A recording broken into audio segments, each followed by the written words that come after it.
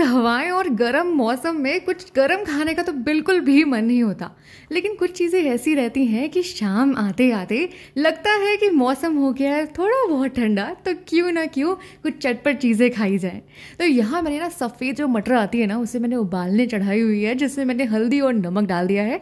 उसके बाद मैंने कुछ वेजीज़ जो है मेरे पास रखी हुई, वो डाल के मैंने अच्छे फुल्की, हल्की फुल्की सौटे कर ली है उसे।